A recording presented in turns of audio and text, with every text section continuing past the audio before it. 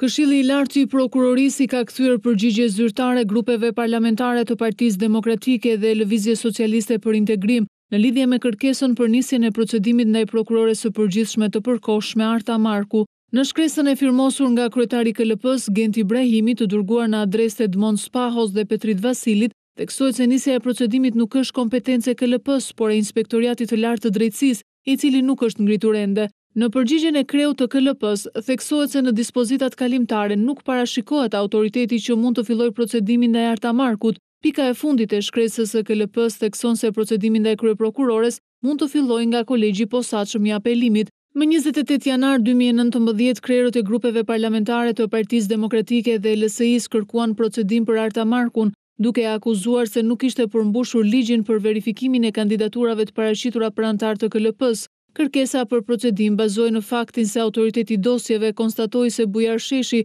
kishte dosje në arkivat e ish-Sigurimit të Shtetit, por përkundër këtij fakti ishte futur në listat e kandidatëve nga Prokuroria e Përgjithshme, Ndërkohë në Kolegjin e Posaçëm të Apelimit është shtyrë sërish vendimi për anëtaren e KLP-së Antoneta Sevdari. Në seancën e të hënës ajo i cilësoi pretendimet e Komisionerit Publik si të pabazuara në prova dhe në Kushtetutë. Prokurorja Sevdari kërkoi rikonfirmimin në detyrë ndërsa KPA-ja vendosi që ta shpallë vendimin më njëzet e tetë shkurt.